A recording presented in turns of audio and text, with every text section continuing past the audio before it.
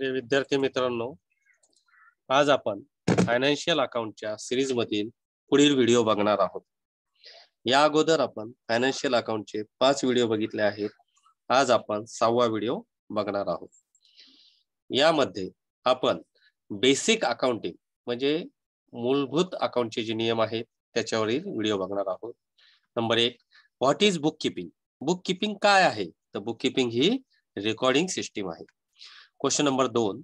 Which one is current asset खाली दिलेल्या पैकी करंट ऍसेट कोणती आहे? त्याचं उत्तर आहे सी कॅश क्वेश्चन नंबर तीन. Back account is a dash dash account म्हणजे जे अकाउंटचे आपले गोल्डन रुल्स आहेत रिअल अकाउंट पर्सनल अकाउंट आणि नॉमिनल अकाउंट त्यापैकी बँक हे कशात मोडतं? त्याचं उत्तर आहे पर्सनल अकाउंट क्वेश्चन नंबर चार. The gross profit is transfer to dash dash account ज्यावेळेस आपण फायनल अकाउंट सोडवतो आणि त्या फायनल अकाउंटमध्ये आपण जो मिश्र नफा म्हणजेच ग्रॉस प्रॉफिट कॅल्क्युलेट करतो ते ग्रॉस प्रॉफिट आपण कोणत्या खात्याला ट्रान्सफर करतो? त्याचं उत्तर आहे प्रॉफिट अँड लॉस अकाउंटला ट्रान्सफर करतो.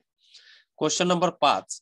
Wages paid for installation of machinery should be debited to dash dash account म्हणजे आपण जी मजुरी देतो एखादी मशिनरी खरेदी केल्यानंतर त्या मजुरीच्या इन्स्टॉलेशन म्हणजे स्थापना खर्च हा कोणत्या खात्याच्या डेबिटला दाखवतात? तर त्याचं उत्तर आहे मशिनरी अकाउंटच्या डेबिटला दाखवतात. क्वेश्चन नंबर सहा. All indirect expenses are debited to dash dash account जेवढेही इनडायरेक्ट खर्च आहे म्हणजे अप्रत्यक्ष खर्च आहे ते खर्च कोणत्या खात्याच्या डेबिटला दाखवतात? तर त्याचं उत्तर आहे प्रॉफिट अँड लॉस अकाउंटच्या डेबिटला दाखवतात. क्वेश्चन नंबर सात. To find out net profit or net loss of the business dash dash account is preferred म्हणजे आपण जो नेट प्रॉफिट किंवा निव्वळ नफा किंवा निव्वळ नुकसान हे कोणत्या अकाउंटमध्ये कॅल्क्युलेट करतात तर त्याचं उत्तर आहे प्रॉफिट अँड लॉस अकाउंटमध्ये कॅल्क्युलेट करतात. क्वेश्चन नंबर आठ. A dash dash is an intangible asset यापैकी कोणती अदृश्य संपत्ती आहे? म्हणजे ती दिसत नाही पण ती संपत्ती आहे. तर त्याचं उत्तर आहे गुडविल क्वेश्चन नंबर नऊ.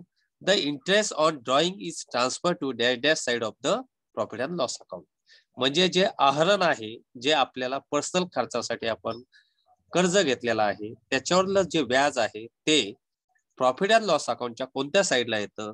तर त्याचं उत्तर हे क्रेडिट साईडला येतं कारण की ती आपली इन्कम आहे. क्वेश्चन नंबर दहा. Final account are prepare on the basis of dash dash account adjustment तर फायनल अकाउंटसाठी ट्रायल बॅलन्स हे अत्यंत महत्वाचं आहे आणि त्याचबरोबर त्याच्या ऍडजस्टमेंट महत्त्वाचे आहे म्हणून याचं उत्तर आहे ट्रायल बॅलन्स क्वेश्चन नंबर अकरा. The withdrawals of partners from the business for their personal use is called as एखाद्या व्यावसायिकाने आपल्या घरगुती खर्चासाठी व्यवसायातून जो पैसा घरी नेला त्याला काय म्हणतात? तर त्याचं उत्तर आहे ड्रॉइंग क्वेश्चन नंबर बारा.